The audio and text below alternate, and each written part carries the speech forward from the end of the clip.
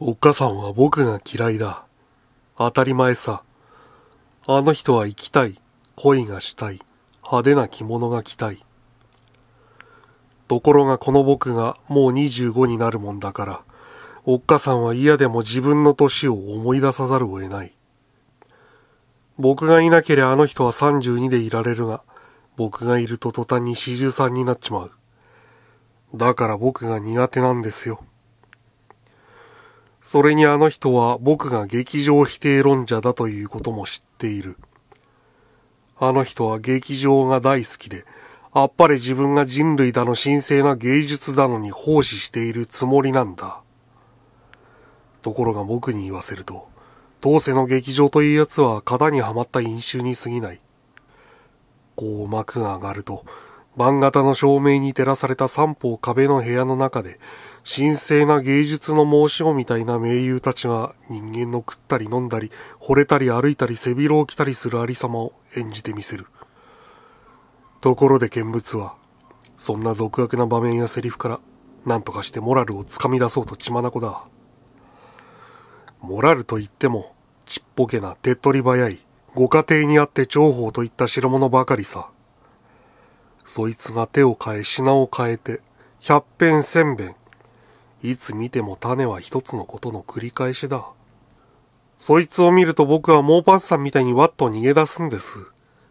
エッフェル塔の俗悪さがやりきれなくなって、命からがら逃げ出したモーパッサンみたいにね。だから、新しい形式が必要なんですよ。新形式がいるんで、もしそれがないんなら、いっそ何もしない方がいい。僕はおっかさんが好きです。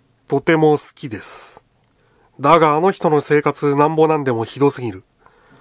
しょっちゅうあの小説家のやつとベタベタしちゃ、のべつ新聞に浮き名を流している。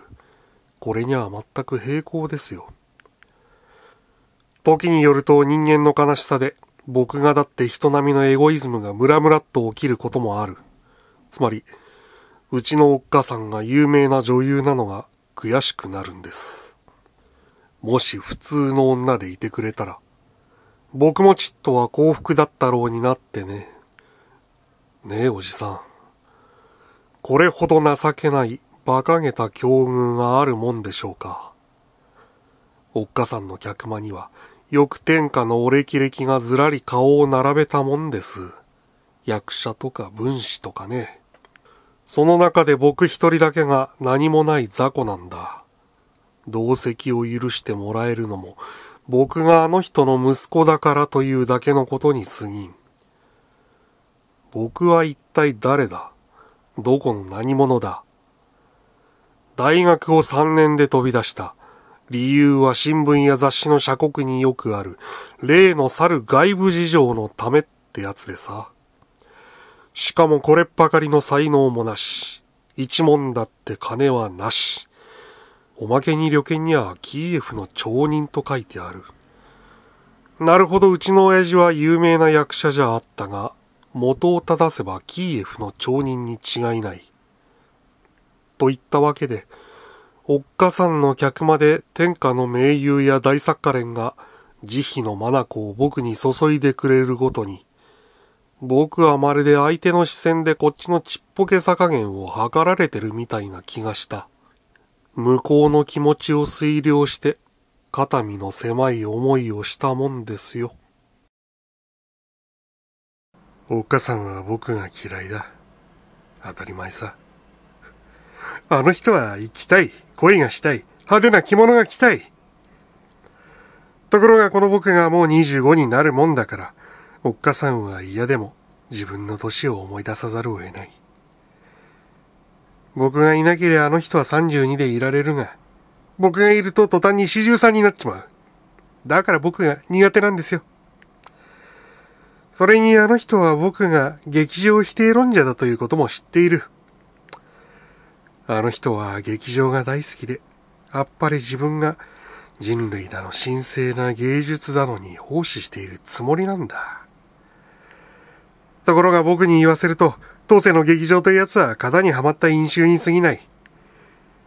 こう幕が上がると、番型の照明に照らされた三方壁の部屋の中で、神聖な芸術の申し子みたいな名優たちが人間の食ったり飲んだり惚れたり歩いたり背広を着たりするありさまを演じてみせる。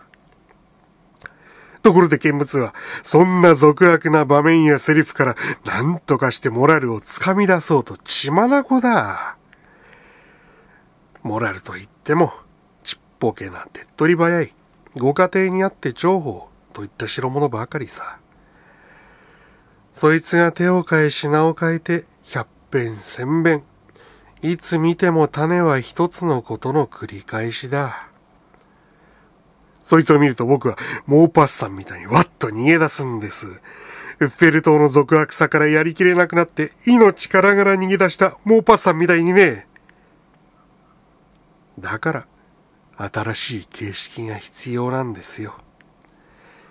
新形式がいるんで、もしそれがないんなら、いっそ何もない方がいい。僕はお母さんが好きです。とても好きです。だがあの人の生活なんもなんでもひどすぎる。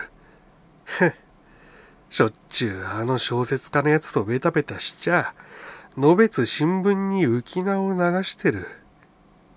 これには全く平行ですよ。時によると人間の悲しさで僕がなって人並みのエゴイスムがムラムラっと起きることもある。つまり、うちのおっかさんが有名な女優なのが悔しくなるんです。もし普通の女でいてくれたら、僕もちっとは幸福だったろうになってね。ねえ、おじさん。これほど情けない、馬鹿げた境遇があるもんでしょうか。おっかさんの客間にはよく天下のお歴々がずらり顔を並べたもんです。役者とか文士とかね。その中で僕一人だけが何もない雑魚なんだ。同席を許してもらえるのも僕があの人の息子だからというだけのことに過ぎん。僕は一体誰だ？どこの何者だ？大学を3年で飛び出した。